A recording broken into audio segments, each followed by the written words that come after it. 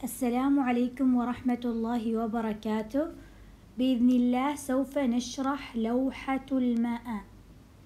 طبعا لوحة الماء نحن مثلا لدينا أي رقم من الأرقام. مثلا هنا هنا لدينا آه، ثمانية وثمانون ثمانية وثمانون وثمانية وتسعون. مثلا نذهب إلى لوحة المئة هنا لدينا لوحة المئة. نذهب إلى الأرقام وهي مثلا رقم آه، ثمانية وثمانون وثمانية وتسعون. هذه هي في لوحة المئة. هذه هي الأرقام في لوحة المئة. ثمانية وثمانون وثمانية وتسعون. فمثلا لدينا أيضا آه، لدينا أيضا ستة عشر آه، لدينا ستة عشر وسبعة عشر وثمانية عشر. نذهب إلى لوحة المئة. لنجد آه، سبعة عشر. هنا سبعة عشر. سبعة عشر ثمانية عشر وتسعة عشر. هكذا تكون لوحة الماء. آه، نبحث عنها في آه، في لوحة آه، الماء بكل سهولة. مثلا هذه أربعة وسبعين ستة وسبعين نذهب إلى لوحة المئة ونبحث عن أربعة و أربعة وسبعين. أين الرقم؟ أربعة وسبعون.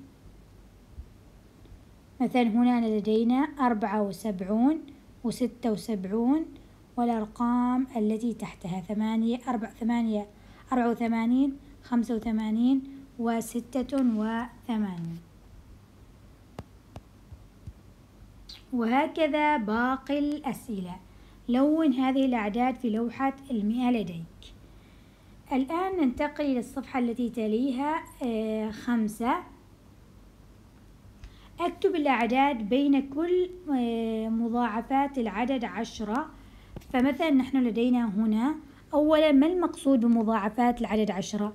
طبعا هي صفر عشرة عشرين ثلاثين أربعين خمسين ستين سبعين ثمانين إلى المئة مئة وعشرة ومئة وعشرون.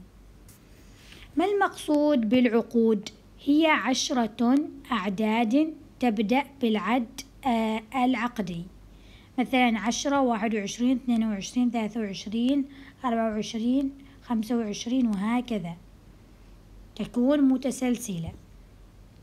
نقطة المنتصف فمثلا لدينا واحد اثنان ثلاثة أربعة خمسة ستة سبعة ثمانية تسعة. آه، فنقطة المنتصف هي خمسة. هنا أربعة أرقام وهنا أربعة أرقام. نأخذ العدد المنتصف. أكتب الأعداد بين كل من مضاعفات آه، العدد عشرة. حوط على نقطة المنتصف. فمثلا نحن لدينا الآن آه، واحد وصفر. فمثلا نحن لدينا الآن واحد وصفر. عفوا صفر وعشرة. فنكتب صفر واحد اثنين ثلاثة أربعة خمسة ستة سبعة ثمانية تسعة عشرة. فنبحث عن رقم المنتصف. طبعا هنا رقم المنتصف خمسة لأن هنا خمسة أرقام وهنا خمسة أرقام. كذلك مثلا نقوم بحل آه فمثلا أي سؤال آخر لدينا مثلا آه، عشرون وثلاثون. عشرون وثلاثون فنكتب فنكتب عشرون واحد وعشرون اثنان وعشرون ثلاثة وعشرون أربعة وعشرون خمسة وعشرون ستة وعشرون سبعة وعشرون ثمانية وعشرون تسعة وعشرون ثلاثون. فهنا الرقم المنتصف هو خمسة وعشرون لأن هنا خمسة أرقام وهنا خمسة أرقام. وهكذا نقوم بحل باقي الأسئلة نكتب الأرقام وبعد ذلك نبحث على نبحث عن نقطة المنتصف. آه هذا السؤال جدا بسيط كم العدد؟ مثلا هنا يقول لنا عد آه الصدفات الموجودة. آه مثلا نحسب واحد اثنان ثلاثة أربعة خمسة ستة سبعة ثمانية تسعة عشرة واحد اثنان ثلاثة أربعة خمسة ستة سبعة ثمانية تسعة عشرة.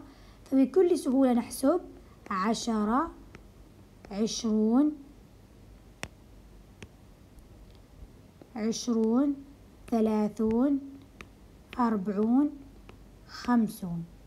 واحد وخمسون اثنين وخمسين ثلاثة وخمسين أربعة وخمسون خمسة وخمسون وستة وخمسون. فهنا الإجابة ستة وخمسون. وكذلك هنا واحد اثنان ثلاثة أربعة خمسة ستة سبعة ثمانية تسعة عشرة. فلدينا هنا عشرة عشرون واحد وعشرون. كذلك هنا واحد اثنان ثلاثة أربعة خمسة ستة سبعة ثمانية تسعة عشرة. فنقول هنا عشرة عشرون ثلاثون أربعون واحد وأربعون اثنين وأربعون ثلاثة وأربعون أربعة وأربعين خمسة وأربعون فنكتب خمسة وأربعون. كذلك هنا واحد اثنان ثلاثة أربعة خمسة ستة سبعة ثمانية تسعة عشرة. فنقول فنقول عشرة عشرون ثلاثون أربعون خمسون ستون سبعون ثمانون تسعون ثلاثة وتسعون. فنكتب ثلاثة وتسعون. هكذا نقوم بالعد بكل سهولة. مثل لوحة المئة بالضبط عشرة عشرون ثلاثون أربعون خمسون ستون سبعون ثمانون تسعون ومئة. آه هكذا. الآن ننتقل إلى السؤال أو الأكياس. كم يبلغ عدد أصناف داخل كل من هذه الأكياس. كل من هذه الأكياس.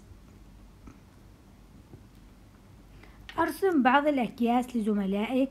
وضع عليها ملصقات مثل هذه الصور. اسأل زميلك عن الكمية المتوقعة داخل الكيس. فمثلا هم آه، هنا قالوا لنا ما بين ستين و, و وسبعون. فتكون الإجابة واحد وستين اثنين وستين ثلاثة وستين أربعة وستين خمسة وستين ستة وستين سبعة وستين ثمانية وستين تسعة وستين. تكون الإجابة أي إجابة يطرحها الطالب من هذه الأرقام تكون الإجابة صحيحة. لأن هم قالوا لنا هنا قالوا لنا ما بين ستين وما آه، بين ستين وسبعين. ما بين ستين وسبعين فتكون الإجابة ما بين آه، الأرقام الموجودة داخل هذه الأرقام. أيضا هنا مثلا بين السبعين والثم بين الثمانين والتسعين. بين الثمانين هنا ثمانيون وهنا تسعون. فتكون هذه هي هذه هي الإجابات. هذه هي الإجابات. مثلا واحد وثمانين واثنان وثمانين وثلاثة وثمانين وأربعة وثمانين وغيرها. كذلك هنا بين آه، بين آه، سبعون وثمانون. فتكون الإجابة هنا. تكون الإجابة هنا. وهكذا. طبعا هذه هي آه، درس الأكياس. يعرف الطالب بين الأرقام. هنا واحد غرام. وضع الطاهي الطاهي اثنتين من الكتل في الكف ليتحقق من أن كف الميزان تعمل بشكل صحيح أي الكتل من الممكن أن تكون في الكفة أول شيء ما المقصود بالكتلة؟ الكتلة هي ثقل أو خفة لشيء. هي ثقل أو خفة لشيء. ما الكتلة التي ما الكتل التي من غير الممكن أن تكون في الكفة من غير أن تكون في الكفة طبعا إحنا هنا عندنا عشرة غرام ثلاثين عشرين ثلاثين أربعين خمسين إلى مئة. استخدم الأزواج المضاعفات العدد بمجموعة المئة لكي تساعدك. طبعا نحن نستخدم المئة. نستخدم المئة. فنقول أول إجابة مثلا لدينا عشرة عفوا عشرة غرام وتسعون غرام. كذلك الإجابة الثانية لأن عشرة زائد تسعون يعطينا مئة. الإجابة الثانية عشرون غرام. فكم تبقى من المئة؟ ثمانون غرام. لأن عشرون زائد ثمانون يعطينا مئة. وكذلك ثلاثين غرام وسبعين غرام. فسبعين زائد ثلاثين يعطينا مئة. أيضا الإجابة الثانية أربعون غرام وستون غرام. كذلك هنا تعطينا الإجابة مئة. هذه هي إجابات صفحة ثمانية. الآن ننتقل إلى مثلث عائلة الحقائب. هنا في مثلث عائلة الحقائب لدينا هي مجموعة من الأعداد المرتبطة ببعضها بعض. خلال الحقائق الجمع والطرح مثال على ذلك آه، لكي يكون تكون الإجابة مئة لدينا عشرة وثمانون. وكذلك هنا مئة ثمانية وعشرون ثمانين وعشرون. ثمانون ثمانون ناقص عشرون وعشرون آه، مئة ناقص ثمانين فمثلا هنا لدينا في أول مثلث وهو المثلث الأصفر لدينا مثلا لدينا كم؟ لدينا مئة. وهنا آه وهنا آه أربعين. فكم يكون هنا الرقم؟ فمثلا نحن لدينا الآن مئة فنكتب مئة. ناقص أربعين يعطينا ستين فهنا تكون الإجابة ستين. وكذلك مئة ناقص ستين يعطينا كم؟ يعطينا أربعون. مئة ناقص ستين يعطينا أرب... آه عفوا ناقص آه أربعين يساوي ستين. وكذلك وكذلك مئة آه مئة آه ناقص ستين يساوي أربعون. الآن نقوم بعكس الأرقام.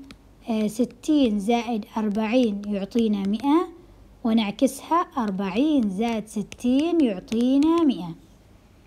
هذه هي الإجابات للسؤال الأول.